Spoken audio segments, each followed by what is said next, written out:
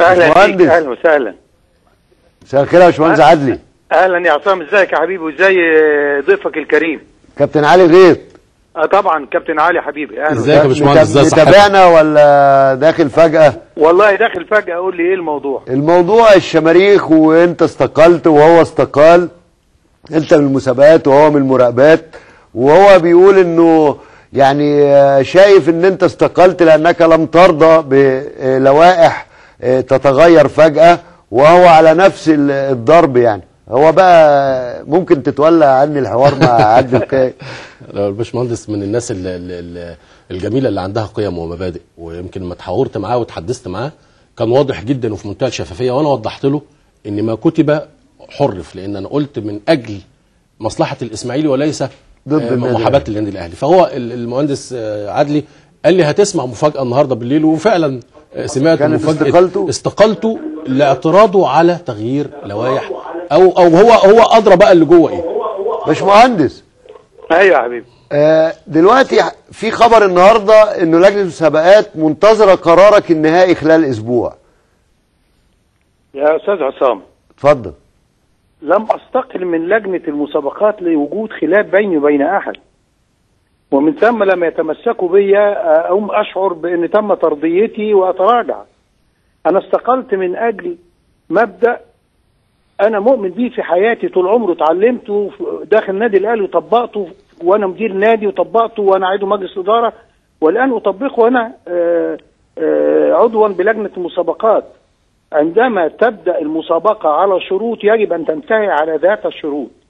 لأني أتصور أن الشروط اللي بتبتدي بيها المسابقة هذا عقد موقع بين الأندية وبين اللجان التي تدير الاتحاد. أنا أنا اشتركت على شروط معينة. إحداث أي تعديل أثناء الموسم يثير الريبة. وهو أمر أنا حتى لو كان القانون بيدهوني فأنا لا أستخدمه. عندما يقال أن تم تعديل اللوائح بسبب تعليمات أمنية أنا آسف أنا آخذ قراري والأمن يلغي.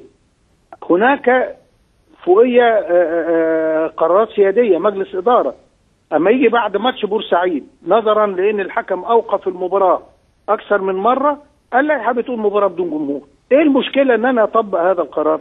واتطبق قبل كده في بورسعيد وفي الإسماعيلية. ده إسماعيلية خد أربع ماتشات قبل كده. لسه علي ابتدى الموسم قبل الماضي مع الأولمبي بمباراة بدون جمهور. والزمالك طبق على كل الأندية. لما يقال بقى أصل إحنا استطلعنا رأي الأمن أقول له لا أنا آخد قراري طبقا للوائح وبعدين مجلس الإدارة إذا تد- حصل تدخل أمني مجلس الإدارة يلغيه. بس هنا يبقى اللجنة قد أعملت آه، صلاحياتها بشكل من وجهة نظري آه، آه، سليم.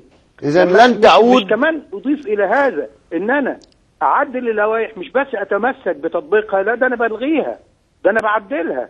عشان تكسر الاجتهادات اجتهادات. يا ترى لصالح مين؟ يا ترى لصالح مين؟ و و وتكون أندية خلاص نفذت آه، من مقصلة آه، التعديلات وأندية أخرى تنتظر هذه المقصلة.